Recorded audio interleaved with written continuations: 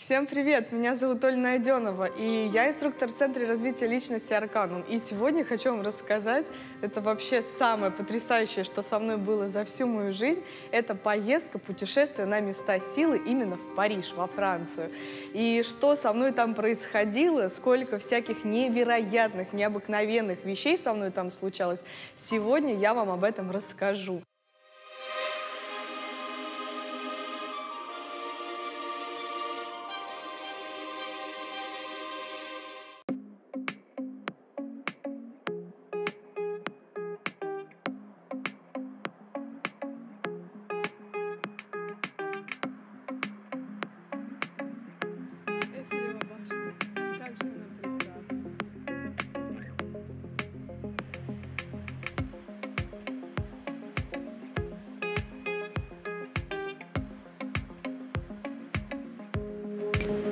Прекрасное сооружение, конечно, дух захватывает. И всего лишь нужно было купить билеты. Всего лишь нужно было это сделать. Обязательно идите к своей цели, к своей мечте. Как каждая девочка с самого своего детства, конечно же, я мечтала о Франции, о Париже. figure this out some way.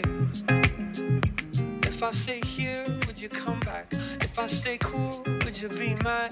Would you want me if I want you that way? All I can think about is coming over, coming over. All I can think about is coming over, coming over. All I can think about is coming over, coming over, coming over. Я думала так, приеду во Францию, выйду в Париже, буду в какой-нибудь шляпе. Кстати, взяла специально шляпу, думала, будет все вот так приблизительно. Выйду в шляпе, красивая, солнце светит. Но, к сожалению, все немножко по-другому сложилось. Потому что мой друг нашел перед самым Новым годом очень дешевые билеты. И мы туда поехали с ним именно зимой. И мы поехали в январе, было жутко холодно. Естественно, ни о какой шляпе не шла речь. Я купила кепку э, парижскую, такую крутую. И в этом кепеле просто проходила э, все съемки, все места силы. Поднималась на Эйфелеву башню, ходила по кладбищу Пьер-Лашес. И многие другие места силы мне открылись. Ну, не только мне, но и моему другу тоже.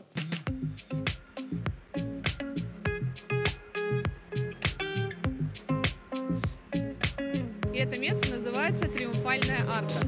Это очень удивительный такой катализатор и место силы, потому что он является мощным усилителем всех процессов, которые есть внутри. Есть такое место, вы здесь стоите, вы формируете э, это желание, допустим, что-то сделать, да, и представляете, что это уже с вами произошло и удерживаете его внутри себя. И представляете, как вы от себя толкаете мощную волну на четыре стороны света. А эта арка, она действительно со всех сторон открыта. Это арка триумфальная, то есть, да, арка победы. Вы фокусируете свое внимание э, на своем желании и его запускаете в одну сторону, во вторую сторону, как волной, в третью сторону света и в четвертую сторону света.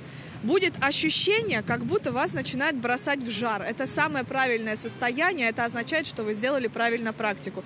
Ваше желание обязательно исполнится, я уверена. Если вы изучаете эзотерику или, к примеру, психологию, или, к примеру, погружаетесь в какие-то практики, вам необходимо ездить по местам силы. Почему? Так нужно делать. Потому что места силы, как ни крути, на твою энергию дополнительно тебе дают кусок силы. И более того, в таких местах можно загадывать желание. Почему? Потому что ты живешь в естественном ритме и цикле. И, скорее всего, уходишь на работу, скорее всего, занимаешься домашними делами, но когда вырываешься из этого цикла, то тебе открывается очень много менталитета, ментальности других стран, народов и других людей. И ты становишься намного шире и объемнее в своей психике, в своей душе.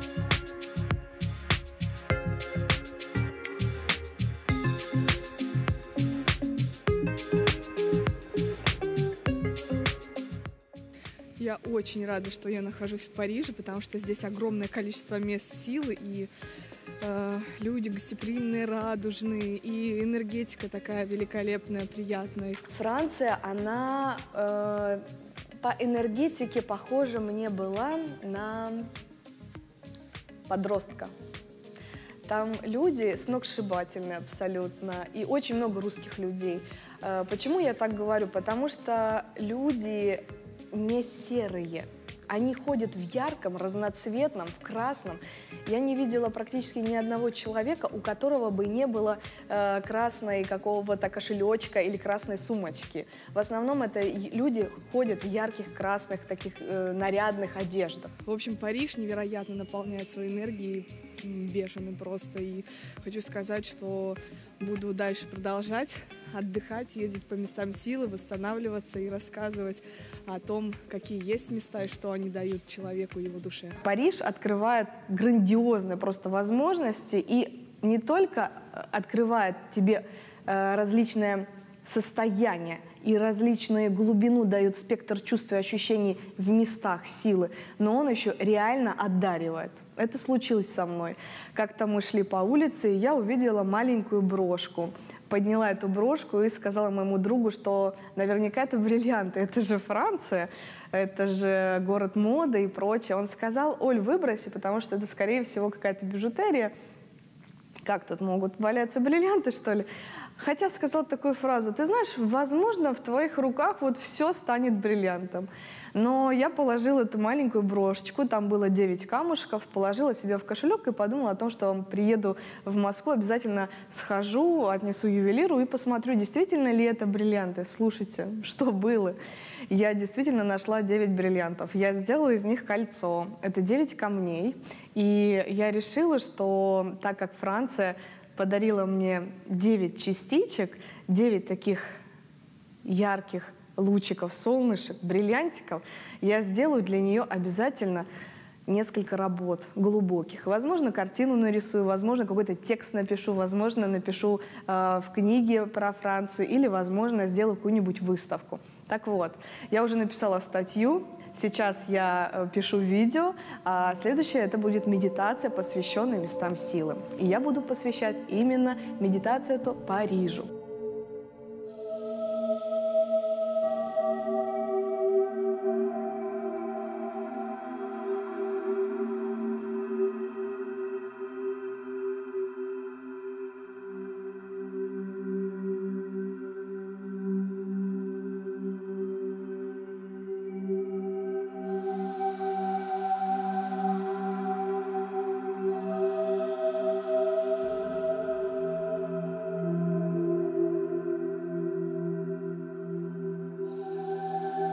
Когда мы зашли в собор Парижской Богоматери, это собор э, с вековой, многовековой историей. Конечно, безусловно, я про него не буду очень глубоко рассказывать. Вы можете в Википедии про это почитать. Меня, конечно, поразил этот дух. И заходя в этот собор, я чувствовала, как он, как точка, на, представьте паутину энергетическую, и представьте в этой паутине есть точка, и через эту точку проходят все силы, все энергии. То есть это дух Парижа. Париж дышит через собор Парижской Богоматери. Когда мы туда вошли, там было очень тепло, очень уютно. Там играла медленная музыка, и мы сели. Мы увидели, что люди подходят, они собираются на какой-то концерт. Более того, там эм, этот концерт что-то стоил, но с нас не взяли денег, пока увидели, что мы не можем, э, практически мало общаемся на английском. В общем, нас бесплатно пропустили, и мы сели, и мы услышали звук органа. Причем звук органа звучал за спиной у нас. Мы смотрели на алтарь, а звук органа звучал за спиной. Было ощущение, как будто бы тебе большая, нуминозная, невероятная волшебная сила касается к твоему затылку. И такое ощущение было, как будто весь мозг просто сияет светом. Более того, нагревается грудная клетка, живот и все тело. Под конец этого концерта я почувствовала, что вокруг меня очень плотное поле. Поле моей силы энергии. Ну, как будто бы что-то в меня изнутри зашло. Что-то, какой-то свет залился. Я расплакалась. Расплакалась я от счастья. Сейчас рассказываю, вновь, наверное, буду плакать. Расплакалась от счастья, от того, что я действительно имею такую возможность прикоснуться к чему-то большому, и к чему-то такому необыкновенному, к чему-то таинственному. Я очень люблю нашу православную церковь, но первый раз в своей жизни я прикоснулась католической церкви. И, конечно же, у меня просто сердце замерло, и дух перехватило. И в конце, когда все закончилось, я выходила, и я почувствовала, что Бог един. Просто в мусульманстве, в православии, э, в буддизме об этом говорят, об этом говорят. Говорят на самом деле все об одном Боге. Я не говорю никакую истину здесь, вы все это чувствуете и знаете. Но когда ты проживаешь в своем сердце это все, когда ты проживаешь духом своим, душою своей, когда ты погружен полностью в это состояние, то, конечно, здесь ты полностью открыт и ты становишься очень уязвимым. Замечательное место, прекраснейшее, абсолютно удивительное, уникальное. Собор Парижской Богоматери, Нотр-Дам. Пали на службу. А, состояние душевности, внутреннего праздника. Такое удивительное, уникальное чудо внутри происходит. Мне удалось к нему прикоснуться. А практику, которую я делала внутри, это практика молитвы. Это практика, когда ты молишься, когда ты обращаешься к Богу напрямую. И неважно, к кому ты или к чему ты принадлежишь, неважно, в какой ты традиции находишься. Главное, что люди вокруг тебя, они тоже обращаются к источнику напрямую. И ты тоже туда же принадлежишь. И состояние было в душе, как будто узоры сплетаются мои, других людей, песня, орган играл. Это все настолько было в комплексе, настолько уникально, и это окунало в глубину себя, вызвало очень большой всплеск чувств положительных, эмоций. Э, вообще в любое место, когда приходишь в буддийский храм или в христианский храм или в католическую да, церковь, то вроде все разделено, вроде и другие режимы и порядки, и все выглядит внешне по-разному. Вот мне довелось побывать э, в Армении, да, прикоснуться к духовности армянской. Но могу сказать, что сейчас у меня ощущение единства Бога одного. Он ниточками тянется через разные религии, традиции, но он один, и мы все с ним связаны.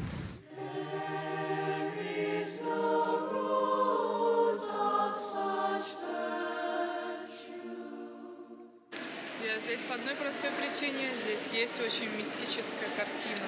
Она настолько переворачивает сознание и очень много мифов я слышала об этой картине, и сейчас я хочу на собственном опыте понять, действительно ли она обладает той настоящей силой, о которой все говорят, и действительно ли Леонардо да Винчи вложил в нее все самое-самое сокровенное.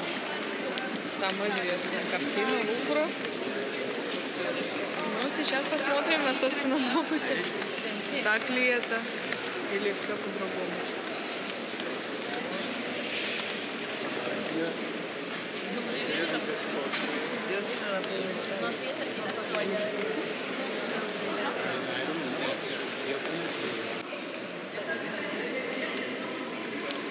Очень интересное чувство, такое ощущение, как будто ты вообще смотришь на икону какую-то. То есть такое последний раз я испытывала в храме.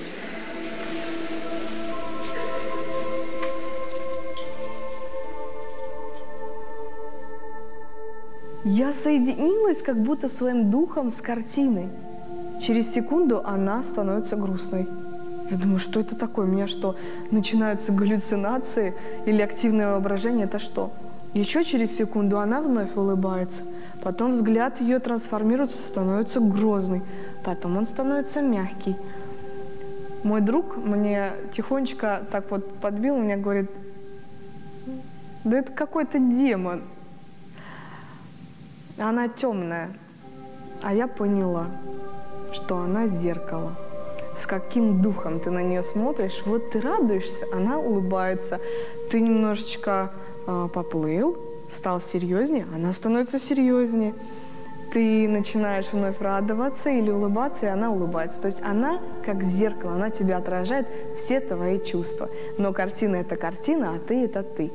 И нужно отделять, где она начинается, а где твое начинается мнение о ней. Поэтому тут очень такой хитренький момент, и Леонардо да Винчи, конечно, сделал ее просто невероятной. И она действительно сердце Франции. Я так считаю, потому что она передает загадку, она передает улыбку Будды, она передает состояние блаженства, а также она передает невероятное творчество, она передает поток.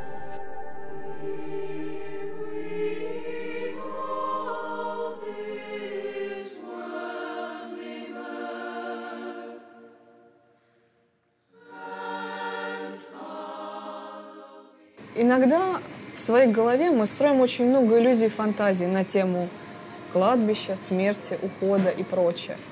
На самом деле, если мы начнем думать более глубоко и нырять в размышления внутри само, самих себя, то мы начнем осознавать намного больше, чем нам кажется.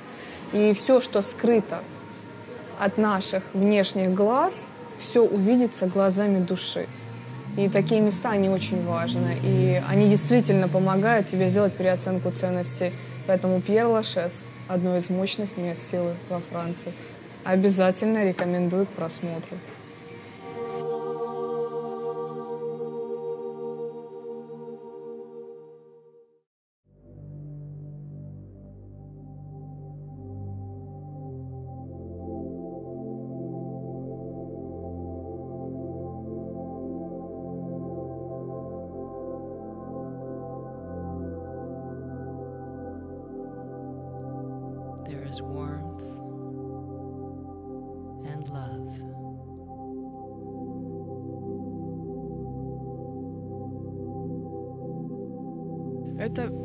Кладбище Перлашес. Очень старое французское кладбище. Я сюда приехала, здесь идет град, снег, дождь, все в перемешку. Но это то самое время для того, чтобы наверное, соприкоснуться с чем-то очень глубоким и важным. Здесь, в этих местах, похоронены очень известные люди, которые перевернули мир. Это место тебя углубляет в то, что кто ты, куда ты идешь, а что дальше. И все эти практики, которые, которым я обучаю людей, я все делаю для того, чтобы у людей расширялось сознание, и они понимали, что есть что-то больше, чем тело. То есть у каждого человека есть душа. И нужно помнить о том, кто ты есть, и быть достойным своей судьбы и тех событий, которые с тобой случаются. Там как будто, знаете, такое ощущение, как если бы структурированная энергия была на этом самом кладбище. Потому что кладбище это не что-то плохое, угрожающее или что-то там, э, что тебя может выбить из твоего жизненного потока. Мы рано или поздно все там окажемся, но на самом деле, если ты почитаешь эти силы энергии, если ты к ним относишься и умеешь их проживать и с ними сталкиваешься, то действительно эти энергии тебе могут открыть, приоткрыть действительно тайную дверцу. Во что? В знание. Здесь на кладбище Пьер Лашес э, похоронено очень много известных людей. И вчера я увидела могилы знакомых мне людей, э, исходя из творчества, культуры, науки. Мне удалось побывать около могилы Папюса, тот, кто придумал карты Таро.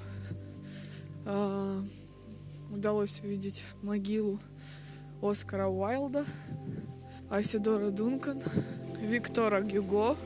И когда ты ходишь рядом с такими людьми и видишь, что они действительно когда-то жили, сейчас их нету, но те шедевры, которые они оставили, они существуют в умах человечества по сей день, и все действительно во времени растянуто, но на самом деле времени не существует, то ты, конечно, чувствуешь совсем другие потоки. А, сюда приходит очень много туристов, чтобы посмотреть на захоронение. Но я еще раз повторяю, что кладбище это не что-то такое плохое, это то, что неотъемлемо от нашей жизни, смерти, да, и нужно помнить о том, что в какой-то момент каждый из нас совершит этот переход. И необходимо быть готовым к тому, чтобы познать себя, как Юнг говорил, достигнуть индивидуации, то есть соединения с собой, с самим собой, с собой истинным, чтобы понять, кто ты есть и насколько ты близок к Богу. Потому что если ты эту связь чувствуешь при жизни, то ты побеждаешь смерть, смерти нету. Ты совершаешь переход, но все успеваешь сделать. Успеваешь следовать импульсам души и тем ощущениям, которые тебя двигают на победы, на развитие, на ювелирную внутреннюю работу, на то, чтобы себя отшлифовать и быть для себя самым достойным человеком. В этот момент возникала очень глубокая внутренняя философия. А кто я? А куда я иду? А ведь этого мига больше не будет существовать. И что я сделала? У меня реально там была переоценка ценностей на этом кладбище, собственно. Я сюда зашла, так бежала активно и шла, что-то рассказывала, рассказывала. Через время почувствовала такое спокойствие, затишье, такое умиротворение непоколебимое, чувство глубины и внутренней опоры, что все происходит правильно. Та тишина внутри, тот дух, который прорывался. Юнг называет это духом глубин. И есть дух времени. Так вот, дух глубин – это такой дух, который сталкивает духа времени. Что это такое? Дух глубин – это когда ты своим нутром, своей душой, своей мощностью, своей верой чувствуешь, что тебе необходимо душой что-то делать вот так. А дух времени – это то, что нашептывает тебе время, мода, люди, возможно, своими мнениями, своими традициями и прочее. Это то, что тебя заставляет не слушать себя изнутри. Так вот, дух глубин – когда прорывается изнутри тебя, то он сталкивает духа времени. И ты действительно пойдешь за духом глубин, потому что дух глубин помогает тебе раскрыть свой потенциал, помогает тебе помогать другим людям, помогает тебе трансформироваться полностью и стать лучшей версией самого себя. И вот это я почувствовала на кладбище Пьер Лашес.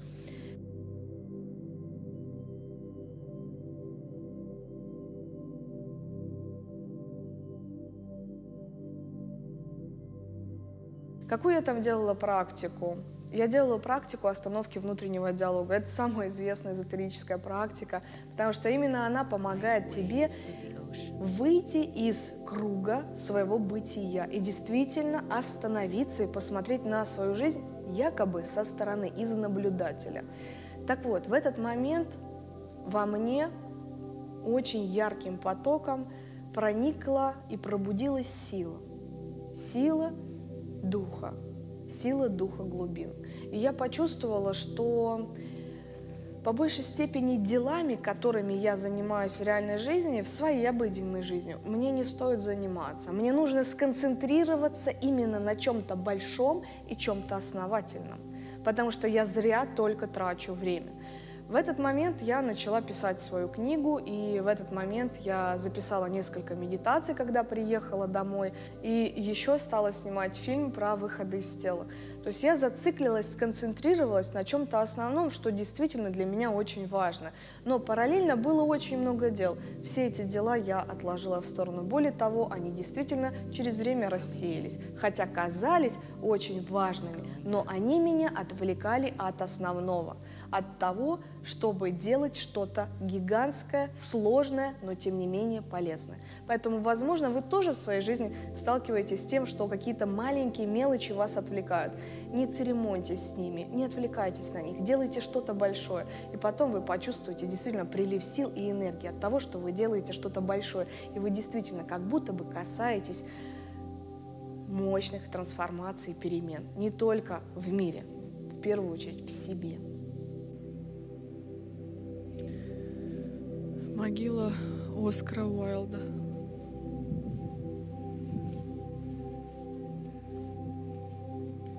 Девушки оставляют след от своих помад. Их очень много здесь. Очень сильное чувство, очень сильное состояние.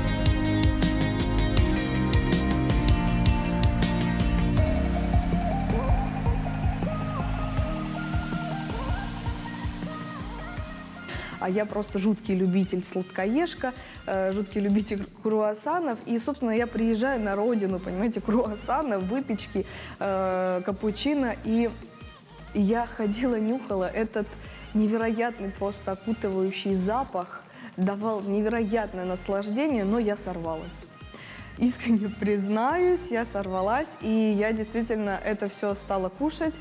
И то, что я голодала, я, естественно, стала быстрее набирать вес, но, тем не менее, я не могла себе отказать. Хоть какой бы я супер практик ни была, тем не менее, э, функции круассана выполняются. Круассан действительно манит тебя, дурманит этим э, запахом своим, и действительно хочется его попробовать, вкусить и насладиться.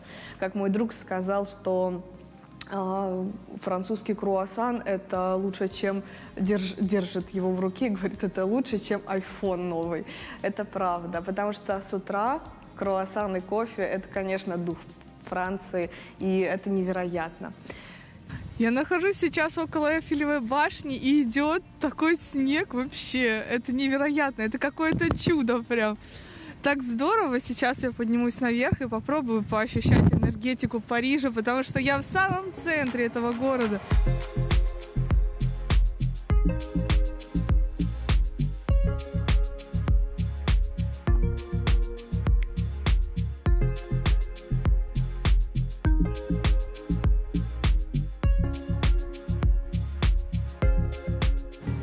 Какая же она красивая, Эйфелева башня, просто сказочно невероятная прелесть. Я на Эйфелевой башне сейчас буду подниматься на какой? На третий ярус? Второй ярус.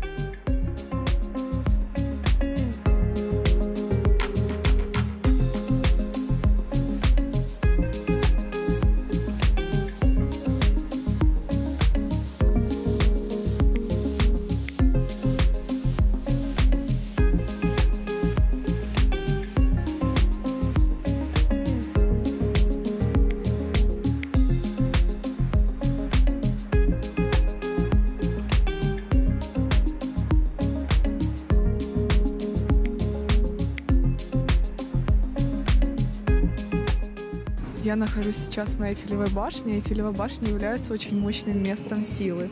Но помимо того, что это еще сердце Парижа, так я могу сказать, что Эйфелева башня, она как раз-таки является мощной антенной, она как усилитель. То есть, если вы хотите, чтобы ваше намерение обязательно реализовалось, с этого места нужно запускать свою цель она обязательно исполнится, потому что башня, она как аккумулятор, как э, нагреватель, как усилитель. В общем, она является антенной. И чувства, которые здесь возникают, это просто невероятное чувство, потому что я не ожидала такого прям эффекта, да, что будет настолько э, настолько прилив сил, энергии, бодрости, но это того стоит. Поэтому люди, которые живут во Франции, я думаю, что они подразумевают что Эйфелева башня как раз-таки усилитель. Если вы хотите, чтобы у вас что-то реализовалось, вы просто загадываете здесь желание, и оно обязательно исполнится. Ну, мой совет, что можно здесь загадывать. Во-первых, мы находимся в таком состоянии, когда ментальное поле очень активно. Ментальное поле – это поле мысли человека. А когда ментальное поле очень активное, это означает, что мысли становятся кристально чистыми, прозрачными, они становятся как у маленького ребенка, да, когда он загадывает желание, но обязательно исполняется, потому что тут есть безусловная вера. Так вот, это состояние здесь возникает, безусловной веры. И э, что бы я рекомендовала, так это э, ни о чем не думать, если у вас есть заранее какая-то цель или желание или мечта, сюда приходите, у вас будет другое совершенно. И не задумывайте что-то заранее. Приходите и на месте ощущайте, что вы хотите, прислушивайтесь к своей душе, она обязательно ответит на все ваши вопросы.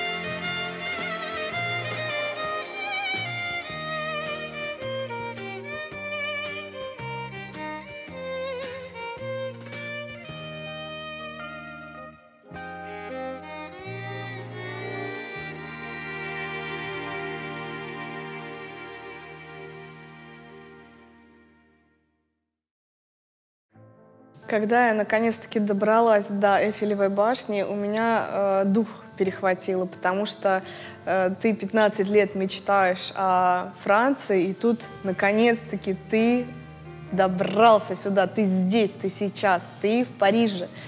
И всего лишь нужно было купить билет, всего лишь нужно было это сделать а не мечтать, не думать, не фантазировать на эту тему. Просто взять, купить и приехать. Ведь это так мало для реализации. Ты просто, тебя отвезут, тебе все покажут. Ты просто купи билет в свою мечту. И мы поднимались на самую макушку, самой верхушки Эйфелевой башни, и было ощущение, называется такое ощущение в эзотерике анахатное. Так вот, это ощущение, когда твоя анахата, чакра четвертая, центр любви, он открывается. Причем чувство благодати и действительно свершения. Когда э, поднялась на Эфелеву башню, то я своим анахатным состоянием загадала новое желание. Оно звучало так. Я хочу побывать в другом месте силы. Это был Кипр. Я загадала желание побывать на Кипре. И с группой в мае мы отправились на Кипр. Об этом я вам расскажу в следующем ролике. И мои ребята, мои ученики с радостью и с гордостью поделятся с вами своими ощущениями и впечатлениями об этом удивительном и уникальном, святом и священном месте силы. Еще хочу вам дать такое направление, наставление.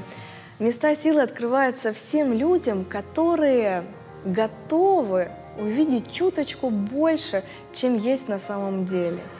И я хочу вам сказать, что вы можете намного больше. Путешествуйте, открывайте, познавайте этот мир, описывайте, рассказывайте, делитесь с другими. Даже на клеточном уровне клетки головного мозга тянутся друг к дружке, нейроны так и мы, люди, тоже тянемся друг к другу. И никто не будет вас обсуждать, никто не будет думать, что вы очень плохой. Наоборот, когда люди путешествуют, открывают, делятся впечатлениями, эмоциями, другие люди начинают к ним стекать. Поэтому я вам желаю всего самого лучшего, и пускай самое большое место силы для вас будет внутри вашего сердца. А с ним вы можете путешествовать где угодно, по местам силы. Присоединяйтесь по местам силы найденного. Подписывайтесь на мой инстаграм. Я вас люблю.